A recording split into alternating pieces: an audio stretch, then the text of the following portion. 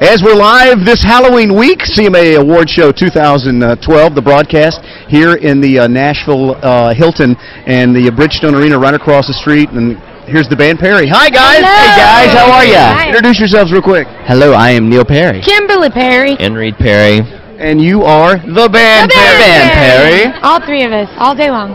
Wow, you guys were just telling us that, that Halloween seems to be the theme when you, we get together because there was a Halloween harvest It's kind ball. of like our QDR anniversary. Yes, that's anniversary. right. The first time we met y'all uh, was on Halloween on in Halloween. the conference room.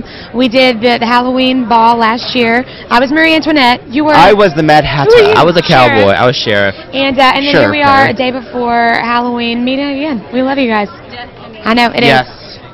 Yes. Well, uh, all right, CMA Awards. You guys got to talk. Got to talk about that. I know it's still still kind of fresh in your minds. Sure. I mean, Absolutely. but what do you think about Thursday night? Fingers crossed. You know, it's exciting. I mean, we're It in is. the, the vocal group category, which is some stiff competition. I tell you what, it's exciting to be a vocal group in country music right now.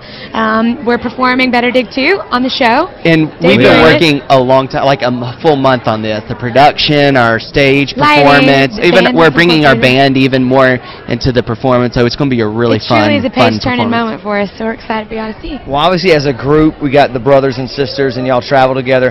What was the last fight where y'all just had it out on the bus? What was it about, and who Pretty was sure it was this morning over breakfast. Yeah, I Uh, think it was. Well, I, what? I think Kimberly had the last of the cinnamon toast crunch. Nope, I remember what it is. What? Somebody, I love those um those waffles, the Eggo waffles. Oh, the Eggo wheat ones. waffles. And Yeah. I was just so looking forward to getting to the bus, which we're kind of staying on this week, and doing my little waffle with peanut butter. Somebody ate the last one Okay, last night. get this, guys. I was in the very back of our bus with the door closed and lock getting dressed, and I hear Kimberly saying, Who ate the last Eggo waffle? and Did I say it like that? It it was kind of like that, Like that. and yeah, it was a big deal.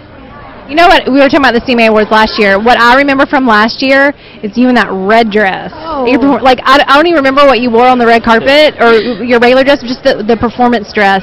Were you? Did you feel like Ginger Rogers or something? Like You I don't know, what? it's the I old felt Hollywood. Like Reba. Reba and the which I see right across the hall over there. Reba was over there a few minutes ago, and um, I was just trying to channel her. So actually, when I played, uh, we played All Your Life, and I was in the red dress. That she's who I locked in on. We were out on the road with her at the, at the redhead. moment, and uh, I was just trying to bring out my redhead. my inner Reba. Let's uh do one last thing here. Cool. We call this the QDR Jack o' Lantern Oh, of Truth. Oh, okay. This All right, Kimberly's so going to draw from the empty All right. pumpkin. Okay, okay, okay. If you won the lottery, what would be the first thing that you would do or buy? Another lottery ticket. You know what I would if I if I could I would buy an aeroplane because it would be so cool to like fly back in and sleep in our own How bed big of a lottery though are you at winning? night. Well, this would have to be a big lottery. One of the 250 big mil. ones. Okay. Perfect. I would, buy I one. would buy an island. In What is Ireland. it? You trying to get away from us? Like a private island? You want to get away and?